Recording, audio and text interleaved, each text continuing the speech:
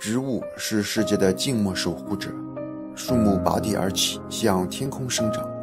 走在树林间时，你是否也曾感受过来自天空与大地的疗愈力量呢？为什么你一直摆脱不掉单身命运？想知道背后的原因，并获得大自然的指引，那么现在就请静下心来，凭直觉选择一棵树吧。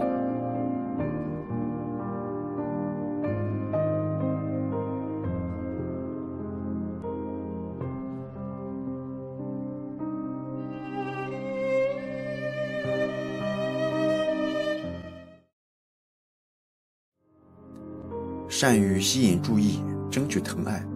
如果你愿意，异性缘应该是不错的。如果觉得感情发展不顺，可能是因为内心明明想跟对方多亲近，但表现出却好像把对方推开，会让人不知如何是好。建议不用想太多，放轻松，自然的表现自己就好。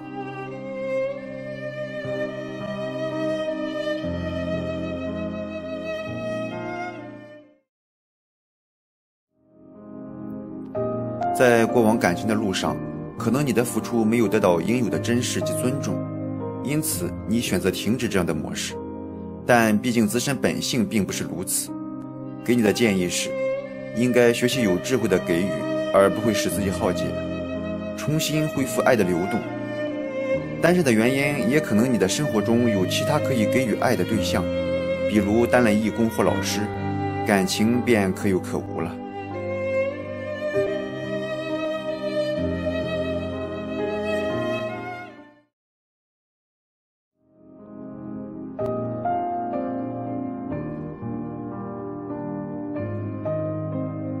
你在面对感情时，可能有点小悲观，也是因为看得比较透彻，所以心态变得随缘而不强求。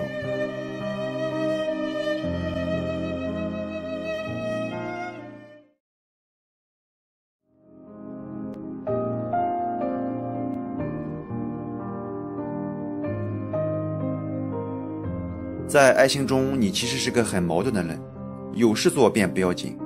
可一旦孤单袭来，就会脆弱的不知该如何抵挡。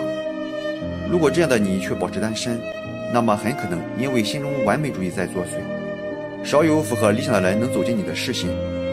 而此外，也因为你比较自我，总希望伴侣是比较配合的一方，给予你足够的自由和接纳你对完美的坚持，所以常常也会因此而走向单身。建议往后对待爱情。还是多退让一分，稍稍降低下高标准，让对方能够有喘息的空间。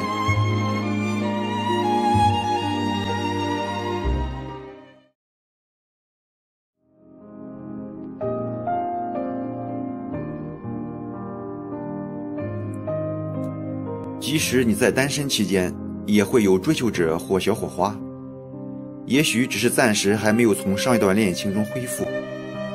另一种可能是，对爱情也很憧憬的你，对生活品味较为要求，反而很难离开为自己打造好的城堡走出去。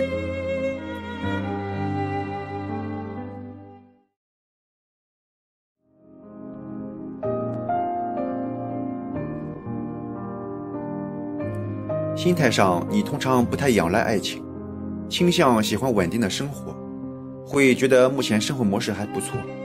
有了爱情，可能加分，也可能扣分，那还是再看看好了。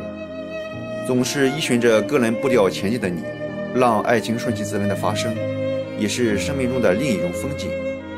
给你的爱情攻略是：试着渐渐融入他们的生活中，建立你们之间的默契。因为生性实际的他需要的不是风花雪月。